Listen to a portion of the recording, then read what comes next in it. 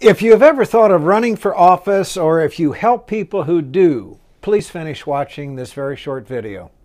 A lot of smart people are very confused about the election because this past year every rule of politics was broken. Or was it? I'll be separating fact from fiction during the weeks ahead, but I would like to hear from you first. And rather than me presume what interests you, I'd like you to tell me.